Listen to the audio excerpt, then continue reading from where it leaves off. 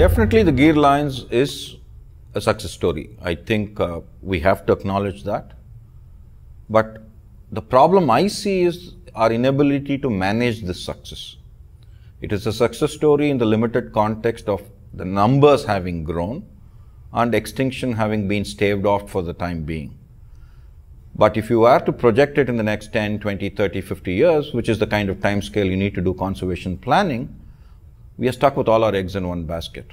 And we don't seem to want to move beyond that.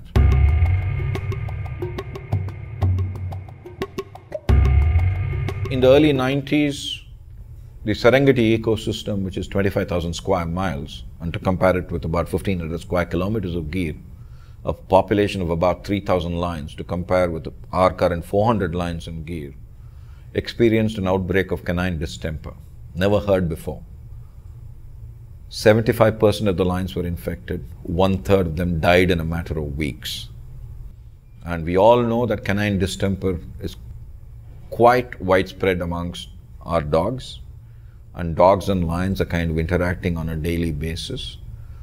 And people do ask, it's not happened in years. Why do you think it's going to happen? It had not happened in years in Serengeti. When it happened, there was a price to pay. And it's really because of that that I keep insisting that it's important to take preemptive action rather than wait for disaster to strike.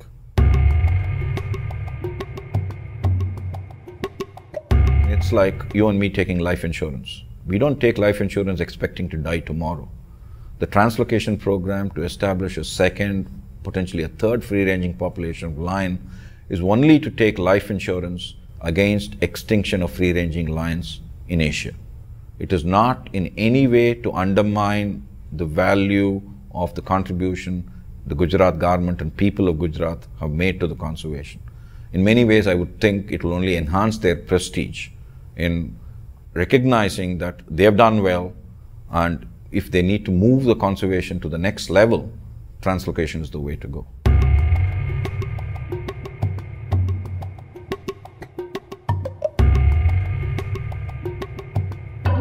It's interesting how the translocation debate is vitiated by motivated arguments saying that lions have found multiple homes in Gujarat we are not talking of small groups of lions or individual lions being located away from Gir.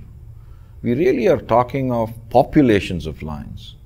If you look at all of these sites, they're extremely small, cannot hold populations, and not very far from Gir. So if an earthquake were to take place, or if a tsunami is to strike, or if a disease outbreak were to take place, the distances that separate all these little groups of lions from Gir are so small that the insurance that a further off translocated population will give for the free ranging population is not provided by these small groups of lions. So, more strength to these small populations.